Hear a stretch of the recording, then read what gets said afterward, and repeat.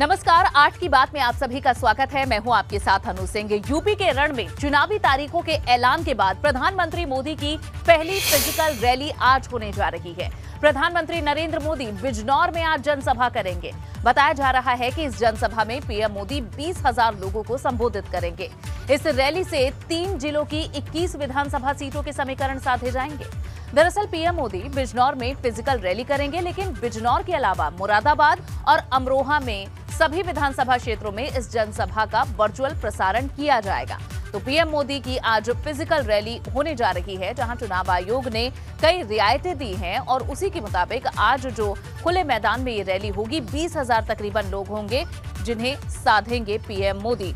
और बिजनौर से अविनाश तिवारी हमारे संवाददाता और ज़्यादा जानकारी देंगे। अविनाश, बताएँ कब तक पीएम मोदी पहुँचेंगे और किस तरह से आज के कार्यक्रम आगे बढ़ेंगे पीएम के? देखिए अनु, अगर बात करें तो प्रधानमंत्री नरेंद्र मोदी 11 बजे करीब आएँगे और यहाँ पे वर्धमान डिग्री कॉलेज में ही अंदर उनका हेलीपैड बनाया गया है। वहीं पर वो वायुसेना के विशेष विमान से आएँगे और यहाँ पे उनका हेलीकॉप्टर लैंड करेगा। जिसके बाद अगर बात करें तो फिर वो जनसभा को संबोधित करेंगे। जिस तरीके से कल अगर बात करें तो चुनाव आयोग ने रैलियों में ढील दी है और कहा है कि अब एक कोई भी मैदान है, उसके एक तिहाई हिस्से को चुनावी जनसभा के लिए भरा जा सकता है। उसके बाद यहाँ पे लोगों की संख्या बढ़ा दी गई। तकरीबन बीस के करीब लोग आएँगे प्रधानमंत्री का जो संबोधन है उसको सुनने के लिए। मुरादाबाद, अमरोहा ज़िले में अगर बात करें तो कई सारी एलईडी स्क्रीन लगाई जा रही है, जहाँ पे उनके भाषण को सीधे सुनाया जाएगा। यानी कि 18 विधानसभा सीटों पर प्रधानमंत्री नरेंद्र मोदी का ये संबोधन सीधे सीधे जाएगा, जहाँ पे बीजेपी के पक्ष में प्रचार प्रसार भी किया जाएगा। इस वक्त मैं बिजनौर में मौजूद हूँ और रैली स्थल के पास ही हूँ। कई सारे लोग हमारे साथ बातचीत के लिए भी हैं, उनसे भी जानेंगे। आप लोग बताइए, प्रधानमंत्री आज आ रहे हैं, पहली बार उत्तर प्रदेश में फ़िज़िकल रैली होने जा रही है। कितना आप लोग उत्साहित उनको सुनने के लिए? वास्तव में हमारे लिए एक बहुत सौभाग्य की बात है और हमारी धरती पावन हो गई है मोदी जी के आगमन से। और हम ये वादा करते हैं उनके, उनसे कि जो हमारी आठ सीटें हैं डिस्ट्रिक्ट की, वो संपूर्ण बीजेपी के खाते में जाएँगी। हमारी जो विधायक हैं सुची मुसम चौधरी, वो उनतीस लोगों को जो है लेह लद्दाख से लाई थी, समझे ना? जो उन्होंने इस देश ज़िले के लिए काम करेगा जो जो मजदूर वहाँ फंस गए थे, और जो उन्होंने कार्य किया है वास्तव में, वो एक ऐसा कार्य था कि जो संभव नहीं था। तो आप लोग भी घर घर जाके कार्यकर्ताओं को लेकर आ रहे हैं, क्योंकि चूँकि आप लोग बीजेपी के वॉलंटियर हैं और क्या घर घर जाके आप लोग भी कार्यकर्ताओं को ला रहे हैं? हाँ हाँ बिल्कुल, बहुत बहुत बहुत सारे कार्यकर्ताओं को ला रहे हैं और रैली को सफल बनाएँगे। मोदी योगी ने बहुत अच्छा काम किया है। और हम ये है कि उनका दोबारा योगी योगी जी की सरकार बनेगी तीन सौ से भी ज़्यादा सीटें आएँगी। तीन सौ प्लस तीन सौ प्लस सीट। आएँगी। क्या आप लोग हाँ तीन सौ प्लस सीट आएँगी। और मोदी जी यहाँ रहे हैं ऐतिहासिक रैली होगी बिजनौर में ये। किस तरीके से आप लोग घर से लेकर आ रहे हैं लोगों को? घर से हम सबसे प्रचार कर रहे हैं ला रहे हैं सब लोगों को हम। डोर टू डोर कैंपेन आप लोग भी कर रहे हैं? कैंपिंग कर रहे हैं प्रचार कर रहे हैं आप प्रचार कर रहे हैं हम। तो यहाँ पे क्या लग रहा है बिजनौर में आठ सीटें हैं पिछली बार बीजेपी ने छह जीती थी लेकिन उपचुनाव में एक हार भी गई थी। आपके नहीं हार होने की सभी आठों सीटें जीतेंगे ऐतिहासिक जीत होगी हमारी बीजेपी की। हाँ, तो दादा आप बताइए आप भी सुबह सुबह निकले हैं किस तरीके से आप लोग जो है प्रचार कर रहे हैं जाके? देखिए उत्तर प्रदेश में गुंडा राज खत्म किया है योगी जी ने विकास किया है योगी जी ने और यहाँ सदर विधायक की जो विधानसभा क्षेत्र है इसमें सदर विधायक ने बहुत ही ऐतिहासिक काम किए हैं। यहाँ लेह लद्दाख में तेईस लोग फंस गए थे उनका एक टेलीफोन आया उन्हें जो है गुमराह करके कुछ लोग ले गए थे। उस टेलीफोन पर स्वयं विधायक और उसके पति जो है वहाँ ले लद्दाख पहुँचे और तीन दिन के अंदर अंदर बिना प्रशासन के किसी सहयोग के उन्हें वाप, वापिस लाए। यहाँ उन्होंने बहुत सड़कों का विकास किया है। कोरोना काल में बहुत लोगों की सहायता की है बहुत लोकप्रिय लोग हैं और हमारी आठों की आठों ज़िले की सीट भारतीय जनता पार्टी की जो पटे अगर बात करें तो आरएलडी ने यहाँ पे डॉक्टर को उतारा फिजिशियन है वो और यहाँ के जाने माने फिजिशियन है वो। तो आपको लगता है कि वो रोशन चौधरी यहाँ से चुनाव निकाल पाएँगे सपा आरएलडी गठबंधन से? नहीं नहीं नहीं नहीं कोई कोई सामाजिक कार्य किया ही नहीं उन्होंने। कोई सामाजिक पृष्ठभूमि नहीं वो आरएलडी के उम्मीदवार है आरएलडी के उम्मीदवार है। सपा में रहे हैं।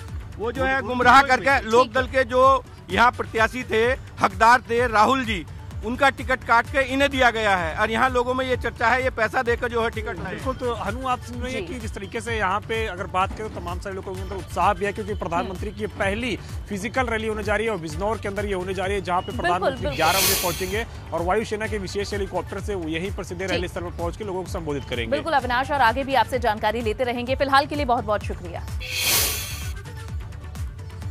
यूपी के दंगल में भारतीय जनता पार्टी ने 45 प्रत्याशियों की नई लिस्ट अब जारी कर दी है, जिसमें कई मौजूदा विधायकों का टिकट कटा है तो कई नए चेहरों को मौका भी दिया गया है। बलिया से पार्टी के प्रदेश उपाध्यक्ष हैं दयाशंकर सिंह। इन्हें प्रत्याशी बनाया गया है और मंत्री आनंद स्वरूप शुक्ला की सीट बदलकर अब बैरिया कर दी गई है, जहाँ के मौजूदा विधायक सुरेंद्र सिंह को इस बार टिकट नहीं मिला है। इस लिस्ट में दिलचस्प बात यह है कि अमेठी राजघराने से संजय सिंह की पत्नी गरिमा का टिकट काटकर संजय पर ही भरोसा जताया गया है। वहीं आजमगढ़ ज़िले में एकमात्र भाजपा विधायक को मौका इस बार नहीं मिला। सगड़ी सीट से उनकी जगह बसपा से आई वंदना सिंह को प्रत्याशी बनाया गया है। उधर मोहम्मदाबाद सीट से अलका राय को फिर से टिकट मिला है। इसके अलावा इसौली से ओम प्रकाश पांडे हैं। सुल्तानपुर से विनोद सिंह और साथ ही लंबुआ से सीताराम वर्मा, रानीगंज से धीरज ओझा को टिकट दिया गया है। इलाहाबाद, उत्तर से हर्ष वाजपेयी हैं। कोराव से राजमणि कोल हैं। बाराबंकी से राजकुमारी मौर्य हैं। और टांडा से कपिल देव वर्मा।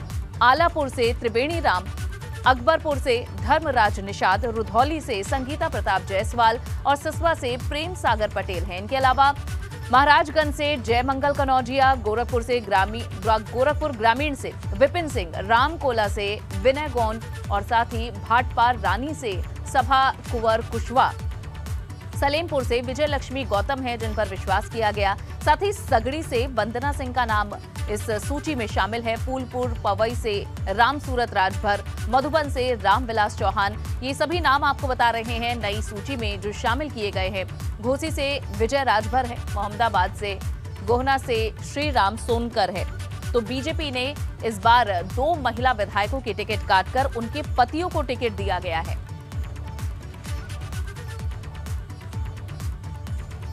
और इस बीच एक बड़ी जानकारी वाराणसी से मिल रही है, जहाँ भाजपा टिकट बंटवारे को लेकर छह सीटों पर सस्पेंस अब खत्म हुआ है। छह सीट पर वाराणसी में प्रत्याशी घोषित किए गए हैं। शहर की तीन विधानसभाओं सहित पिंडरा और शिवपुर में पुराने प्रत्याशियों पर बीजेपी की ओर से विश्वास जताया गया है। शहर उत्तरी से रविंद्र जायसवाल हैं। शहर दक्षिणी से अब नीलकंठ तिवारी हैं। कैंट से सौरभ श्रीवास्तव हैं। शिवपुर से अनिल राजभर, पिंडरा से अवधेश सिंह और अजकरा से हैं त्रिभुवन राम। इन्हें टिकट मिल चुका है। उम्मीदवारों ने चुनाव अभियान में और भी ज़्यादा अब तेज़ी लाई है। तो जहाँ चुनाव अब बिल्कुल सिर पर आ चुके हैं। वाराणसी से भाजपा टिकट बंटवारे को लेकर जो छह सीटों पर सस्पेंस था, वो खत्म हो चुका है, जहाँ छह सीटों पर वाराणसी के प्रत्याशियों की घोषणा हो चुकी है। और जिस तरह से इनके नाम भी आपको बता रहे हैं, कैंट से सौरभ श्रीवास्तव हैं, शिवपुर से अनिल राजभर हैं, पिंडरा से अवधेश सिंह अजकरा से त्रिभुवन राम को टिकट दिया गया है।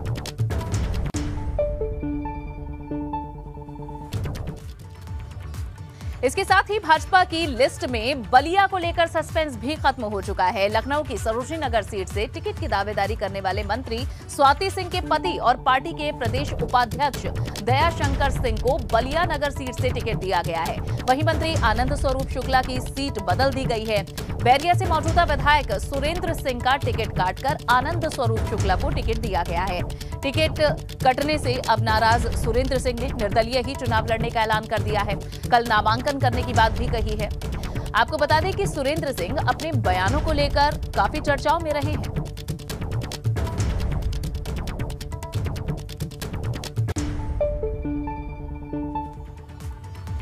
वहीं एक और जानकारी लखनऊ से दे दें, भाजपा ने दो सीटों पर अपने प्रत्याशी बदल दिए हैं। बाराबंकी और कोराव सीट पर अपने प्रत्याशी बदल दिए गए हैं।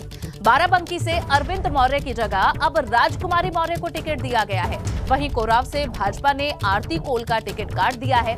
मौजूदा विधायक राजमणि कोल को टिकट दिया है।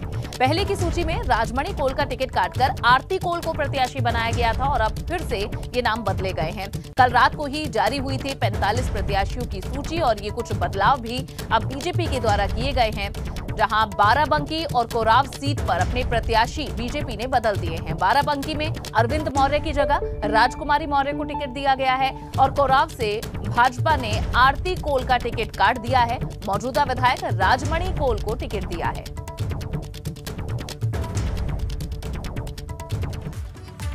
यूपी चुनाव से जुड़ी एक बड़ी खबर सामने आ रही है प्रयागराज से, जहाँ पर अपना दल के के नेता डॉक्टर पल्लवी पटेल सिराथू सीट पर ही चुनाव लड़ेंगे, जहाँ पर उनका मुकाबला डिप्टी सीएम केशव प्रसाद मौर्य के साथ होगा।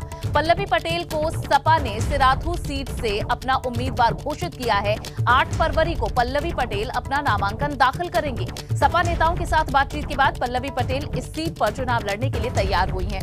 पल्लवी पटेल के नामांकन में अखिलेश यादव की पत्नी डिंपल यादव के भी शामिल होने के कयास लगाए जा रहे हैं।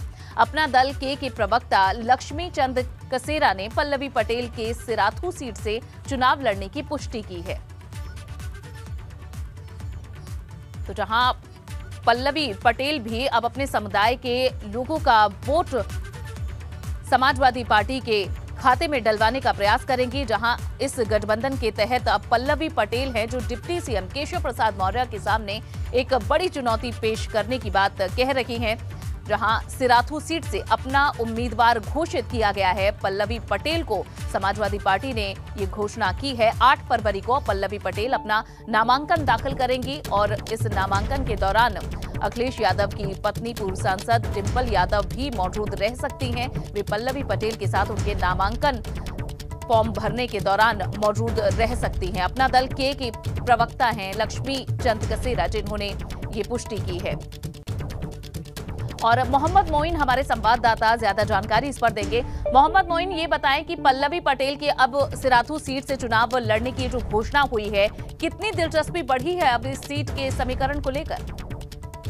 देखिए समाजवादी पार्टी ने पल्लवी पटेल के नाम का ऐलान तकरीबन एक हफ़्ते पहले ही कर दिया था लेकिन पल्लवी पटेल वहाँ जाकर चुनाव लड़ना नहीं चाहती थी। दो बातों पर एतराज़ था। एक तो जो सीट थी सिरातों की जिस पर भारतीय जनता पार्टी की तरफ़ से डिप्टी सीएम केशव प्रसाद मौर्य चुनाव लड़ रहे हैं और दूसरा समाजवादी पार्टी का जो सिंबल है साइकिल हालाँकि इस बात को लेकर के दोनों पार्टियों के बीच कई दिनों तक गतिरोध बना रहा गठबंधन तोड़ने तक की धमकी दी गई। लेकिन बाद में इस मामले में सपा मुखिया अखिलेश यादव ने दखल दिया और उनके दखल के बाद पल्लवी पटेल सिरातू सीट से चुनाव लड़ने को तैयार हो गई हैं। कल वो कौशाम्बी जाकर के अपना नामांकन दाखिल करेंगे और बहुत मुमकिन है कि उनके नामांकन में अखिलेश यादव की पत्नी और पूर्व सांसद टिम्पल यादव भी शामिल होंगी। जो। बाकी बची सीटों का विवाद है उसको लेकर भी पार्टी नेताओं का कहना है कि एक से दो दिन के अंदर वो विवाद लग जाएँगे। मोहम्मद शुक्रिया इस जानकारी के लिए आपका। बड़ी खबर आपको बताते हैं सपा अध्यक्ष अखिलेश यादव आज सहारनपुर पहुँचेंगे। दोपहर तकरीबन सवा बारह बजे वे अंबाला हाईवे से सपा कार्यकर्ताओं अंबाला हाईवे में सपा कार्यकर्ताओं के साथ बैठक भी करने वाले हैं। बैठक के बाद एक प्रेस कॉन्फ्रेंस होगी। जयंत चौधरी आज मेरठ कैंट और सिवाल खास में जनसभा करेंगे। मोदी नगर और बागपत में भी चुनावी जनसभा किए जाने की तैयारी है। और बलराम पांडे हमारे संवाददाता सहारनपुर से हमारे साथ जुड़ चुके हैं। बलराम, ये जो कार्यक्रम रखा गया है अखिलेश यादव और जयंत चौधरी का, कितने लोग इसमें जुटेंगे और किस तरह से यहाँ चुनाव प्रचार आगे बढ़ता दिख रहा है इनके माध्यम से?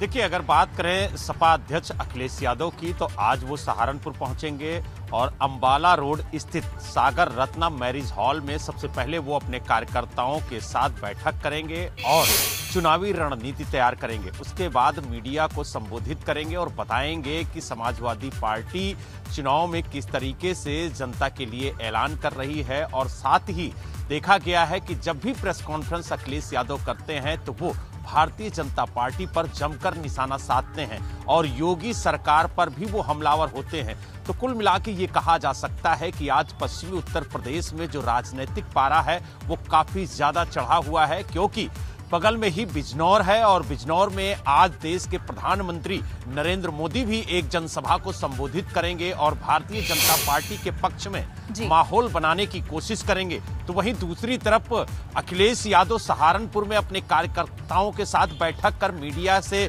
रूबरू होंगे। तो वहीं जयंत चौधरी भी मेरठ गाजियाबाद और बागपत में कार्यकर्ताओं से साथ बैठक करेंगे और जनसभा को संबोधित करेंगे। तो यानी कुल मिला के ये कहा जा सकता है कि पश्चिमी उत्तर प्रदेश के जिलों में पहले और दूसरे चरण में मतदान होना है। यही वजह है कि सभी सियासी दल अपनी पूरी ताकत झोंक रहे हैं। प्रचार और प्रसार में पूरी ताकत झोंकी हुई है और चुनाव प्रचार में कोई कोर कसर पार्टियाँ छोड़ती बलराम नज़र नहीं आ रही हैं। बहुत बहुत शुक्रिया जानकारी के लिए।